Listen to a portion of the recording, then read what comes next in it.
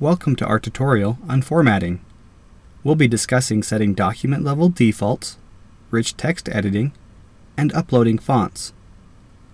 Setting document level defaults is done through the property bar at the top of the editor.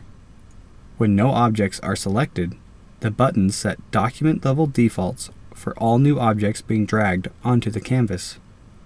For example, by default text is 8 point black.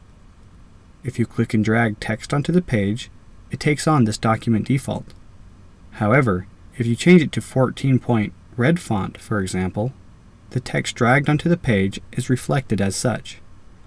Block defaults for shapes, such as fill color, border color, and line thickness can be defined in the property bar. Line defaults are also set here, which include line styles, shapes, arrow points, and thickness.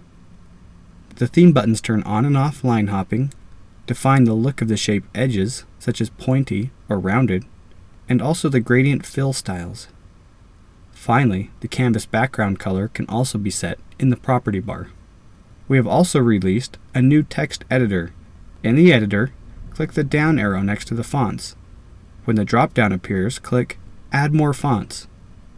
If you find a font you like, simply check the box next to it and click OK it will then show up in your drop-down fonts list.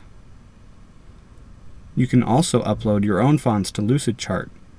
Before uploading a font, make sure that your license allows you to use it for this purpose. To upload, simply drag the OTF or TTF file from your computer directly onto the canvas. A progress bar will indicate when the font is finished uploading. When finished processing, it will then show up in your fonts list for use. Remember that fonts have separate files for normal, bold, and italics styles. Therefore, you need to upload every file for particular styling to work with your new font. Foreign languages such as Chinese, Japanese, or Korean can be entered through the Input Method Editor, or IME, by selecting a text field and clicking the character button in the property bar. This will open a text entry dialog associated with your text entry area.